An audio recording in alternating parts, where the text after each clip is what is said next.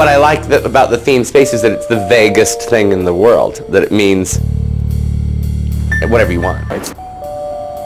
The secret to create the space in the Grand Sports Tourer was to use horizontal dimensions, horizontal lines, like the masker. You've drawn them Yes, like a thinking muscle. always on like a real muscle. All right, with music, marking, just mark it through to, to relearn it. Okay, go.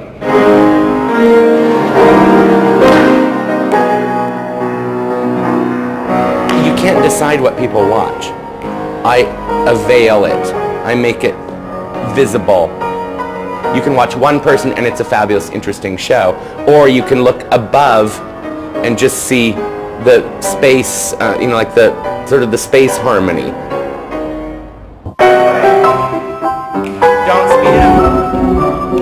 While Mark may seem very irreverent, he's a very reverent person, and it doesn't always come across. And I think he just tries to broaden the spectrum of different kinds of beauty, art, music, sounds. Five, six, seven, go!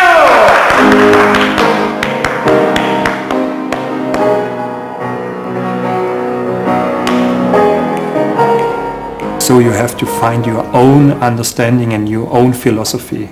You have to be your own character. It's a dream for, for myself to create a car like a living room. We, we worked very hard to get this living room on wheels atmosphere. The cups are getting more, they're getting bigger from each car to the next and we have to involve such huge holes into the car. Cup holders. We stare in the mirror a lot. What you see in the mirror is It's a lie. It of course doubles the space and then you're lost when you go to the stage and you can't see that. It's like where is everybody? In a studio, you see the walls and everything is confined. When you're on stage, the light is on you so that you have to look into the darkness. You don't know where the walls are. So your focus really travels much, much further away. And the audience sees that and feels that sense of space. So I think that's when you know this grand sense of performance really sets in.